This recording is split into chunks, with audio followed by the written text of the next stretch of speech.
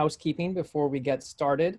Um, if you can please uh, mute your screens and hold questions to the end. We'll have a Q&A session um, at the end um, where I'll read your comments in the chat window to Gaelle and uh, she'll, she'll respond in kind. And we'll have some announcements at the end. All right, so by way of introduction, Gaelle, if you want to get started and um, share your screen uh, with your slides. Um, Gaelle Doucet uh, received her PhD from the University of Caen in Normandy, and then um, went on to conduct her first postdoctoral fellowship at Thomas Jefferson University in the United States, and then a second postdoctoral fellowship at Mount Sinai University in New York. And while there, uh, transitioned to the role of PI and assistant professor in the Department of Psychiatry. More recently, um, she is now a scientist at Boys Town National Research Hospital in Omaha, Nebraska, where she is a, a PI and the director of the Brain Architecture, Imaging, and Cognition Lab. So I'm very excited to be learning about Gaelle's newest work. Um, here, the title Individual Variability in Brain Network Organization. I've been following Gaelle's work for nearly a decade now um, for some of her pioneering work looking at the architecture of resting state connectivity in the human brain. And I'm delighted to have you here today. So Gaelle, why don't you go ahead and take it away? Well, thank you very much. Um, good afternoon, everyone. Um, I'm very happy to be virtually with you. Um, so as uh, Dr. Sprang um, just said, um, I moved about six months ago to my new position in Omaha.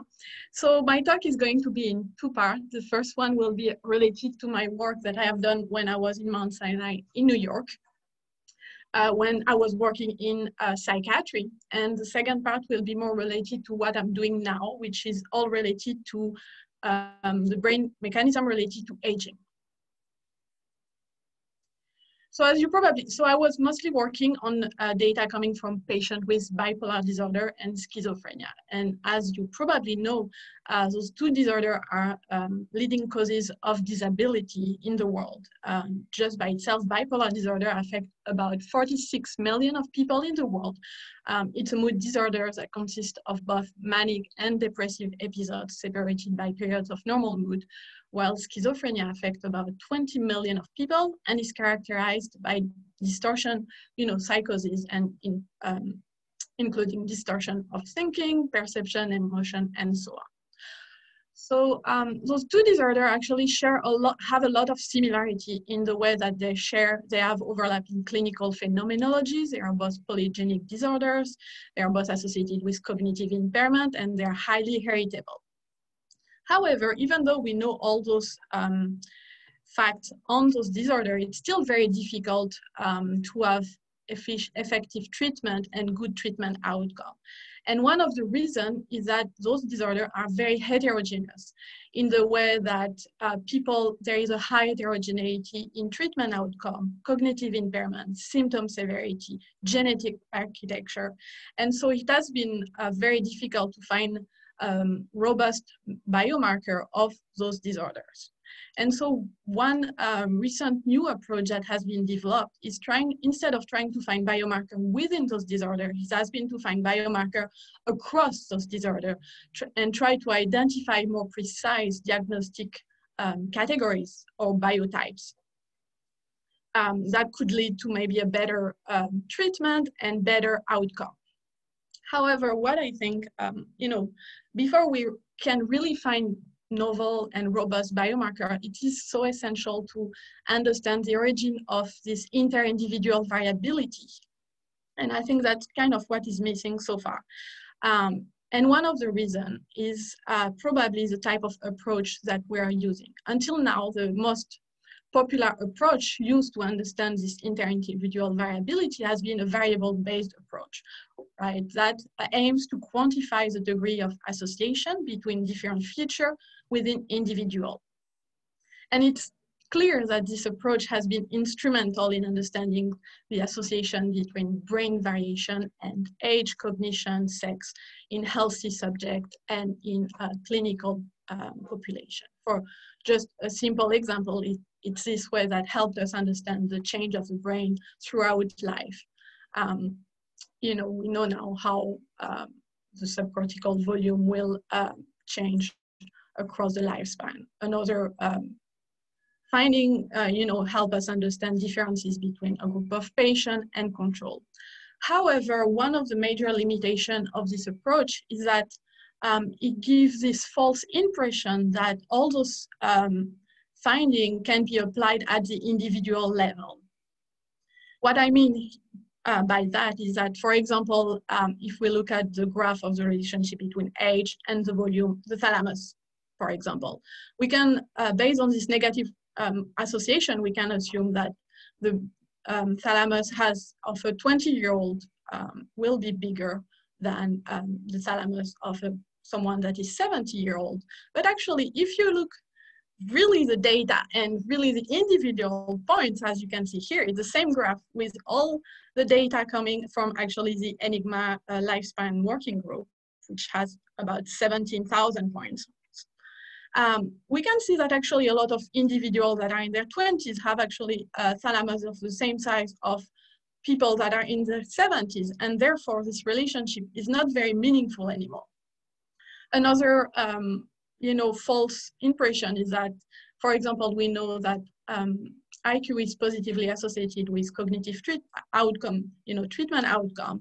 However, we cannot assume that someone with a very high IQ will uh, respond to a treatment positively in everyone, everyone that has high IQ or will not suffer from um, dementia. And so I think we're ignoring, using such an approach, we're ignoring all the outlier and the meaning of those outlier. And so um, what I'm really working on, and that I think is probably a complementary approach, is more of a person-based approach, which aims to identify subgroup of individuals with unique characteristics. And in that way, there may be, um, you know, we may be able to categorize you know, patients or group of individual and maybe develop better um, treatment and understand better the, the mechanism behind this variability. And that's what I'm going to talk about today. And that's really what I have been interested in the last few years, is trying to understand, you know, what are what is the meaning of this inter-individual variability.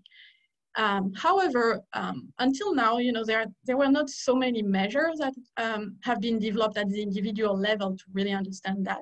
Most of people, uh, you know, we will use standard deviation or coefficient of variation to uh, quantify this variability, but again, it will not tell us anything about this case or this case, you know. Um, it will just, again, tell us something at the group level, which may be misleading. And so in this context, um, I um, created a measure that is called Person-Based Similarity Index, or PBSI, which is a global metric that quantifies the variation, the inter-individual variation in, for example, brain profile um, at the level of the individual person. So um, for today, and just for the example, I will focus on brain structure and in particular cortical thickness and subcortical volume uh, because those measures has been well established. So I'm going to just give you an example of what this measure um, explain.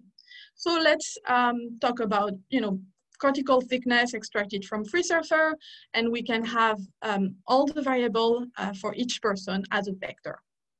And the idea is to compute pairwise correlation between each pair of individual along those, um, using those vectors. So it, we will have one score per pair of individuals that reflect how those profiles are similar between each other. And the last step is to basically average all those correlation for each individual to have one score per subject where one high score, so if the PBSI is high, it will reflect how this individual's profile is very similar to the profile of everyone else, reflecting um, low variability, while a low score will reflect how this individual may have a unique profile, very different from everyone else. And in that way, we can try to understand why is this subject different from everyone else. So before I show you results um, on um, patient with psychiatric disorder, uh, what we wanted to do is uh, confirm that this measure is meaningful at the bio, you know, biologically meaningful, uh, because we can all create new measure, but if they don't mean anything and if we cannot relate to anything um, at the brain level, it's, it's quite useless. So, so what we did is um, we um, used data coming from the Human Connectome Project and the Cambridge Center for Aging and Neuroscience Study, or the CAMCAN uh, project, and we extracted uh, subcortical volume, cortical thickness from FreeSurfer, and computed so this PBSI score, person-based similarity index, for each individual, and separately for subcortical volume and cortical thickness. And uh, what we found is we confirm uh, what we were hoping is that we found a very strong sex effect um, in each of our measure. Uh, while I'm only showing you the result for one cohort, we found the exact same uh, result for the second cohort. So our results are very reproducible and robust.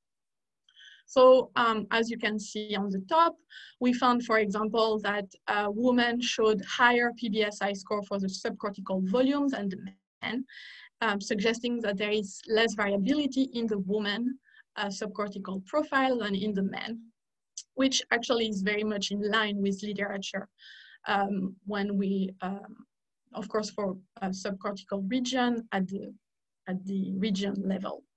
Uh, we also found a strong, significant non, nonlinear relationship with age, um, where, for example, if you focus on the right-hand side bottom, uh, we found that the PBSI uh, in the cortical thickness show a very strong negative relationship with aging for individual above the age of 60 years old, uh, suggesting that older adults show a very high variability in their cortical thickness compared to younger adults, which is also very much in line uh, with what we know about aging. So it was already a very good confirmation that our measure, uh, you know, follow what we were expecting.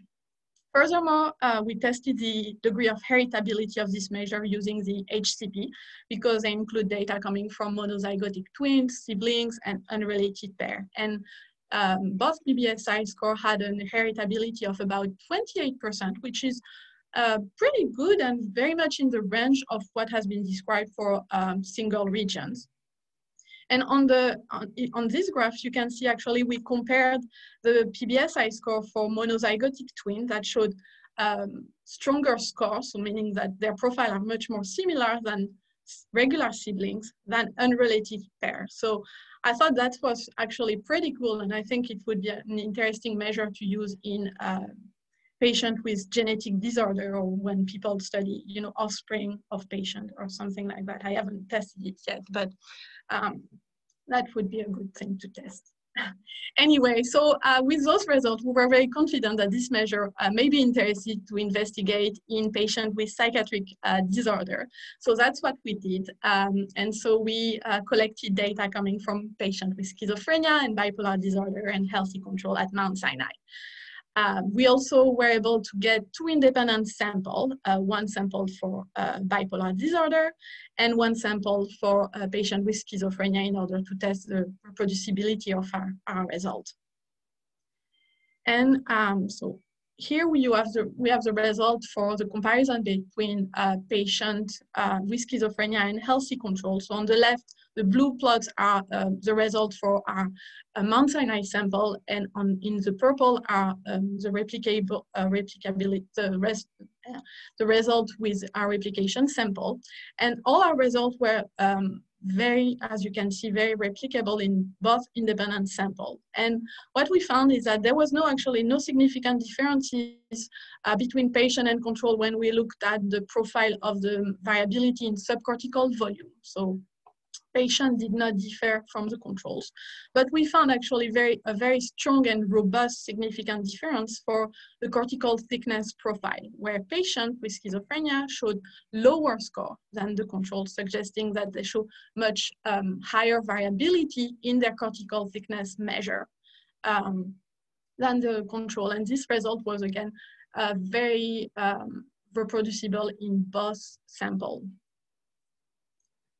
We uh, further tested this difference to, to, to ensure that it was not related to maybe a specific region that kind of mess up everything, right? So we computed the regional contribution to the PBSI score in each group. Uh, and we basically didn't find any, any um, that our finding were driven by a specific region, as you can see. So that's the map of the regional contribution for the healthy control. And on the right, you have the same map for patients with schizophrenia. And basically, the two maps are uh, pretty much similar. So we know it was not driven by you know, just one specific region.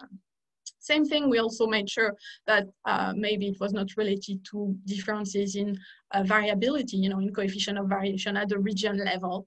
And again, um, we know it was not related to, um, to that, as you can see that basically the profile of the association between coefficient of variation and regional contribution was the same in healthy subject and in patients with schizophrenia.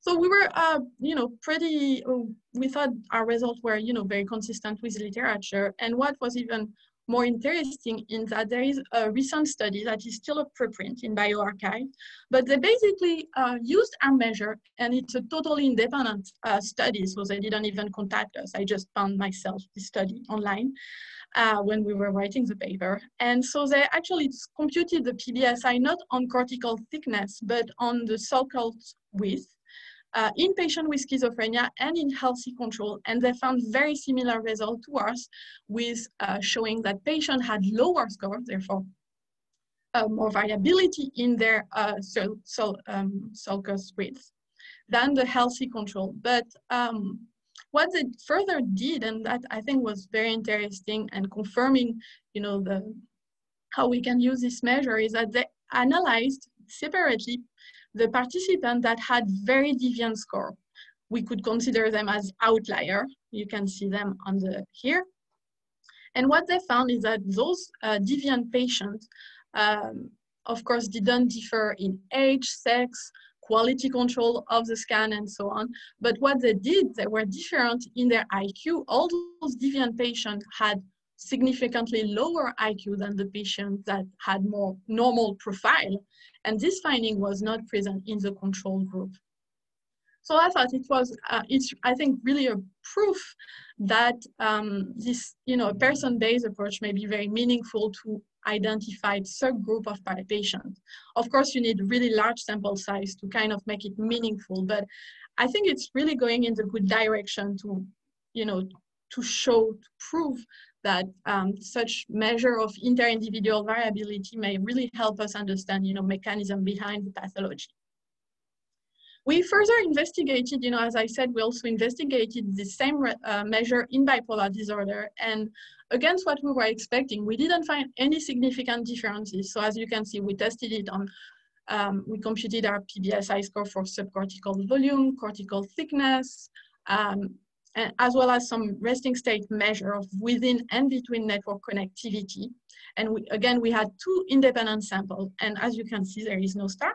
It was nothing was significant, not even at an uncorrected level, um, which is kind of unexpected, I have to say. But what it suggests is that um, the variability may be in brain structure and function that is found and described in bipolar disorder may just be nested in normal normal variation in normal range.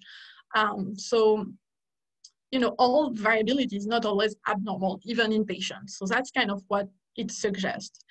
And um, it can also help us maybe understand the differences between patients with bipolar disorder and schizophrenia as we were able to um, distinguish the two groups in the cortical thickness uh, profile where patients show significantly higher score, suggesting that uh, those patients show less variability than the patient with schizophrenia.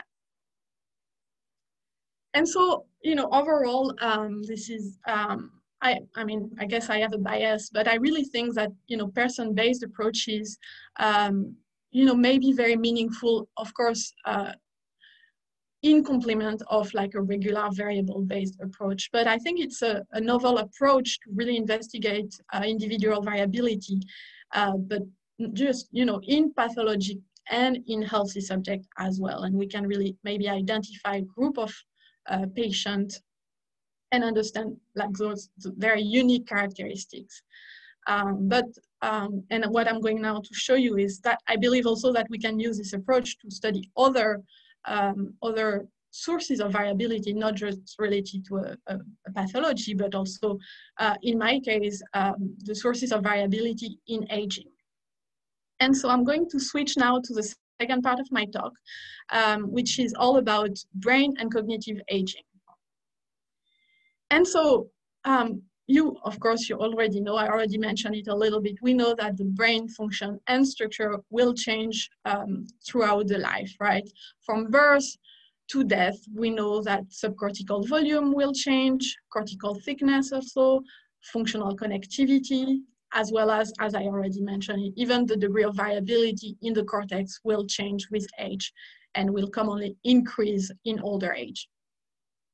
Not only at the brain level, but also, of course, at the cognitive level, we know that there is high variability in older adults. Between uh, older adults that will show very preserved cognition compared to those who will show severe cognitive decline. And on the left side, you see the result of one study that I really liked from a few years ago uh, that was done on uh, the CAMCAN sample that um, investigate um, so this cognitive variability in um, the participants that were, I think, above the age of 65. And what they suggested is that um, older adults that had uh, that can report that reported a very rich life during their middle adulthood didn't show um, this correlation between cognitive ability and the brain size, while those um, who reported um, less activity uh, during their middle adulthood show this uh, strong relationship suggesting that, you know, smaller brains associated with uh, more decline. And um, in the idea, they're suggesting that maybe there are some mechanisms that will protect um, the brain to um, shrink, you know, in a relationship with cognition uh, in those adults that maybe have a better, a more active life when they are younger. And so that's kind of what I really want to investigate. It's the difference between those older adults that uh, will show preserved cognition versus those who show uh, decline. And so for that, I wanted to use my uh, new measure that I described earlier, the PBSI score. And instead of applying it on cortical thickness, I use the cognitive profile. So here it's done again on the CAMCAN sample that provided a large range of cognitive tasks. Um, I think I computed this measure on 39 variables. And as um, you may see, uh, we found um, you know, results that are you know, in line with literature where we found that the young people, so those are in blue, under the age of 40 years old, show very high value, suggesting less variability related to, you know, the ceiling effect that has been described and show no relationship with age. You can see the blue line, it's like totally flat. However, uh, while getting older, we can see that there is a progressive dec decline um, decrease of this PBSI score, suggesting in progressive um, increase of variability in the cognitive profile of all those individuals. And especially we can see that after 60 year old, we have like really a large variability in those profile. And what I want to do, and I haven't done it yet, I'm in the middle of investigating the origin of um, this variability and do kind of like what the study of Jensen I described earlier did is investigating how those older adults may show very unique profile compared to those older adults that show actually very similar profile to young people. Uh, is it related to you know, cognitive decline or maybe change in the brain? And that was uh, my idea. I wanted to link it, link this variability, cognitive variability with the brain functional organization. And for that, I thought I would look into the major brain um, resting state network. You all know probably about them, the default mode network, which is shown in blue, the salience network in yellow, executive network in red, and visual and sensory motor network. However, when I was looking for um, you know, a brain atlas that I could apply to my data of older adults, I realized that all of them, at least all the ones that I knew and that are available, are based on um, young adults, as you probably realize. Um, they're all basically done on subjects that are under the age of 40 years old.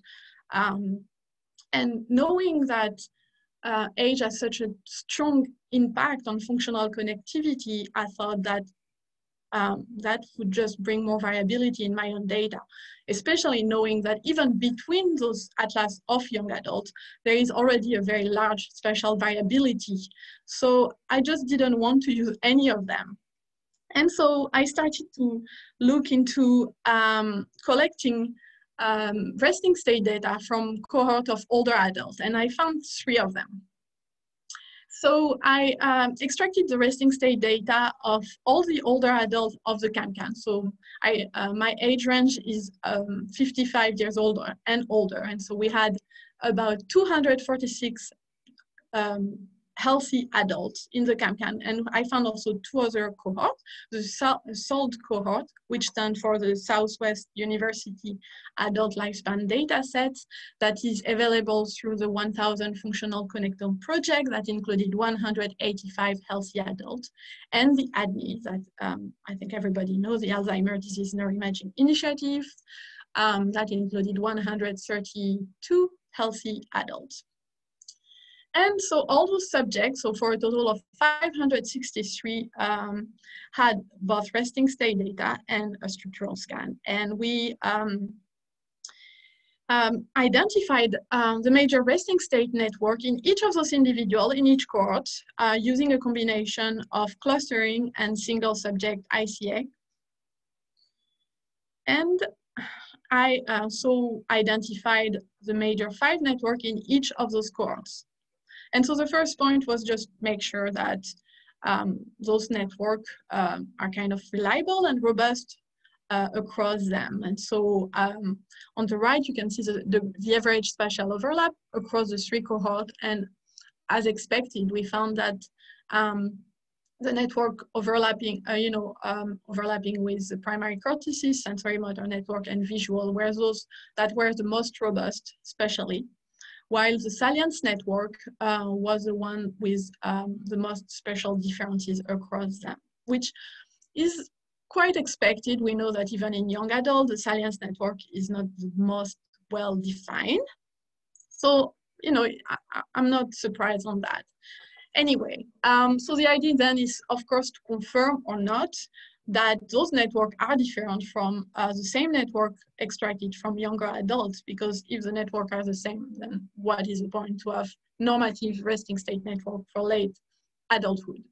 So using the exact same approach and the same data, I use the data coming from the young adult of the CAMCAN sample. So everybody under the age of 35 years old, 18 to 35. And I extracted, again, as I said, um, identified the same network. And my idea was to compare um, the network of the young versus the old or old versus old based on the CAMCAN samples. That way we correct for site, um, MRI acquisition, and so on. And we found what we were expecting is that the network coming from younger adults shows significantly less overlap with um, networks that have been identified in older adults than if we take another independent older adult cohort. So that's exactly what um, I was expecting and that really proved the point that we need um, age-appropriate brain template for brain organ for to investigate the brain functional organization in late adulthood. And so um, that's uh, my newest atlas that I called um, Atlas 55 Plus. So it's a consensual atlas of the five major resting state network um, across all the three cohorts.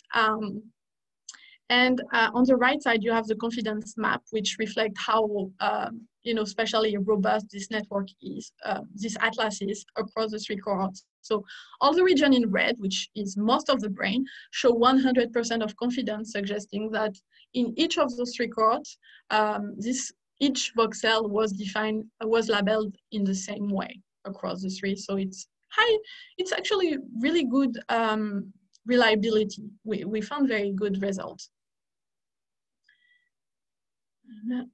almost. And um, so, of course, um, I wanted to go a little bit further and see uh, the special differences. Where were they located between Atlas 55 plus and the same network identified in younger adult? And so we again use the um, younger, the network identified in the younger sample of the CAMCAN. So the young network is um, younger adult network is in red and the atlas 55 plus uh, based on older adult is in blue. And i mean it's it is kind of um, striking that there are uh, clear differences uh, with um, again the network that uh, of, that covers the primary cortices showing the least special differences especially the visual network was the one the most similar. I think it's overlay with like um, overlap at more than 80%. So it's, it's really, really stable and it suggests it's really not so much uh, influenced by age. And the least um, similar was the salience network again, which is again not totally uh, unexpected. But what I want to point today is about the medial temporal lobe. Um, where we found that the medial, the whole medial temporal lobe um, that you see in red and that is part of the DMN in the younger adults switch to the executive network uh, in older adults. And I thought it was uh, pretty interesting. And I think it's pretty much in line with uh, the model developed by Dr. Spreng and the DECHA, where we know that the, the, coupling, the coupling of the DMN and the executive network will change with aging and maybe associated with cognition. So I haven't tested it yet, but that's kind of in my goal. It's uh, my next step. Um, and what is important to also say is that this result was actually robust across the three cohorts. So we also provide a subdivision of for each of the major resting state network. And we only report subdivision that we found in each of the three cohorts. And as you can see, uh, where my mouse is, is that in the executive network, we do have this medial temporal subdivision present, suggesting that we did find it in each of those cohorts. So it's really a stable result. It's not just linked to you know one cohort driven by one cohort. Um, so you know I'm going to here, but um, what is I think just important to remember is that the variabilities sources in older adult may be different from the one in younger adult and it's in that case it's really important to um, to adapt you know our atlases or our mechanism method everything to our age um, group uh, in order to reduce the origin of variability that we're trying to already study and, and reduce.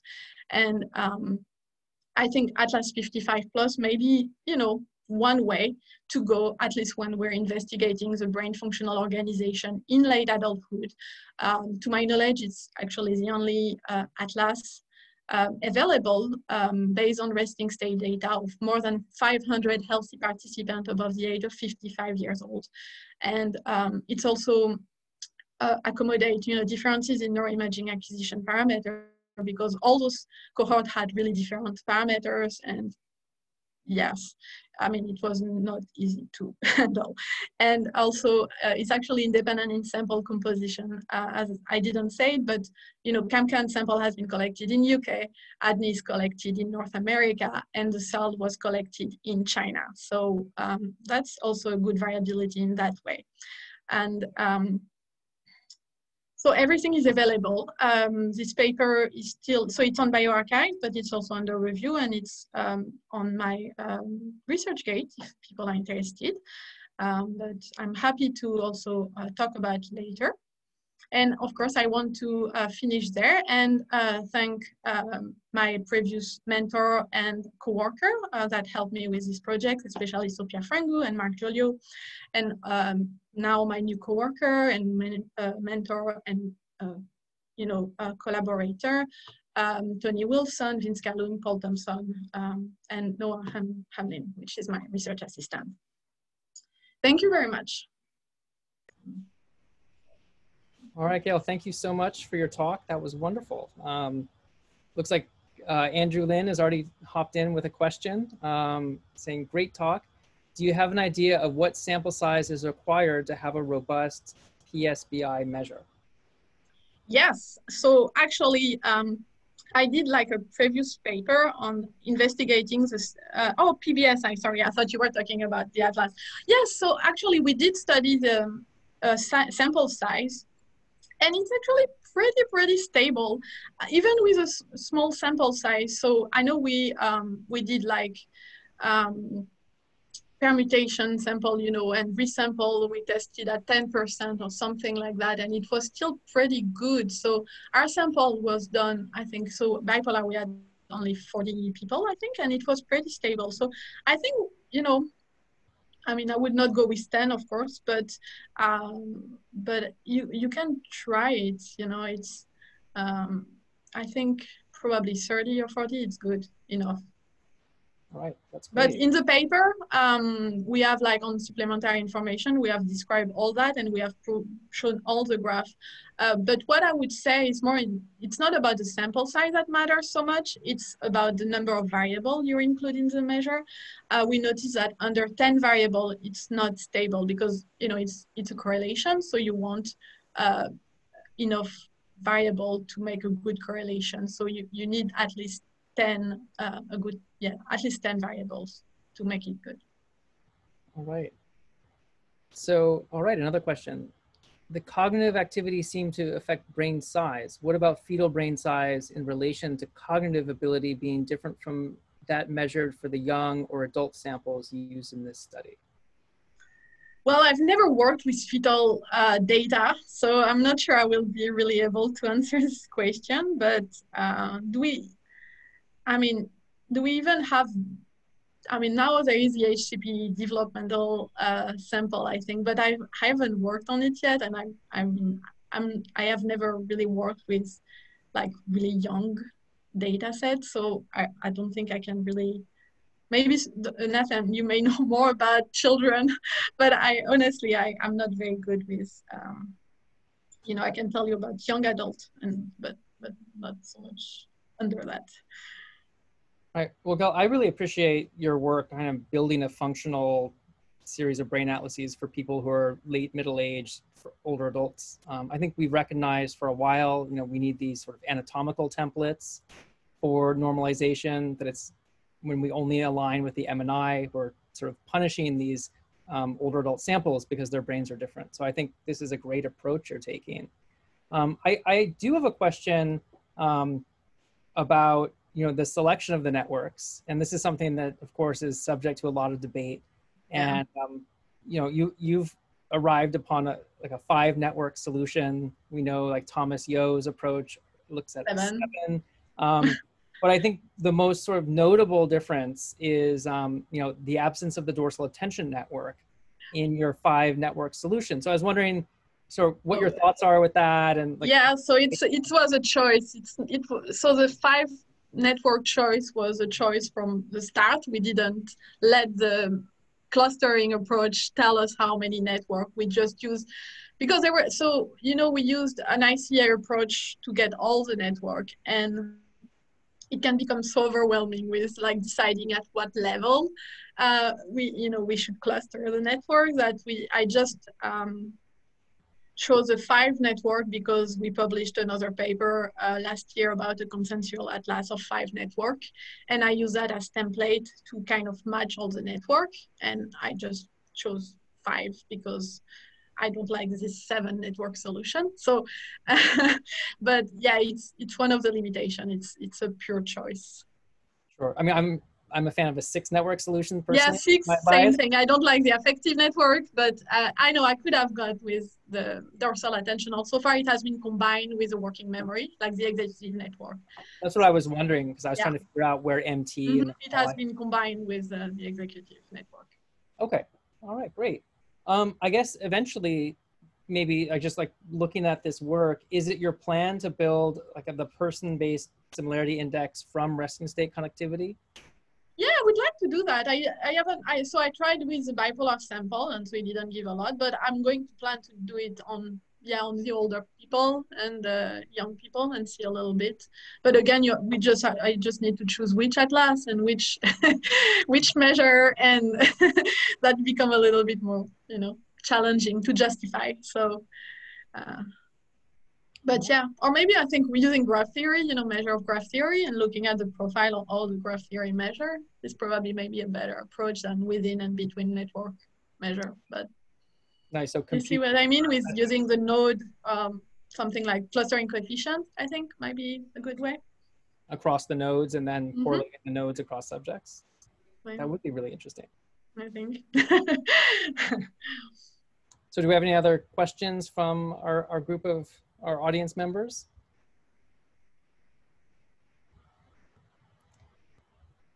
All right, so I think we might begin to wrap it up. Um, I just have a, a couple announcements to make um, before you go. So next week uh, for the Feindel Virtual Brain and Mind Seminar Series, we have, um, let's see, we have Alessandro Gozzi who will be presenting Unraveling Brain Connect Connectopathy with Cross-Species fMRI. And then coming up later in November, on November 11th to the 12th, we have the Neuro Gairdner Open Science and Action Symposium. So the Neuro, um, the world's first open science health research institute and the Gairdner Foundation, best known for Canada's premier prizes in biomedicine. They've joined forces this year to host the second edition of the Neuro Open Science and Action Symposium.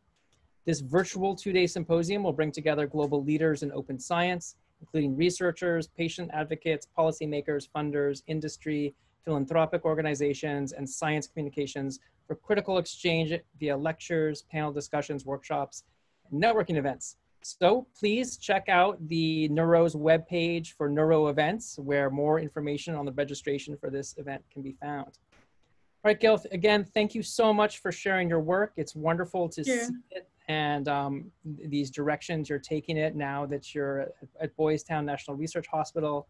Um, I really look forward to talking to you more in the future um, as these yeah. things unfold. Absolutely. Hope we can stay in touch. All right. And thank you everyone for joining us today. Uh, to see you next week. Have a good afternoon.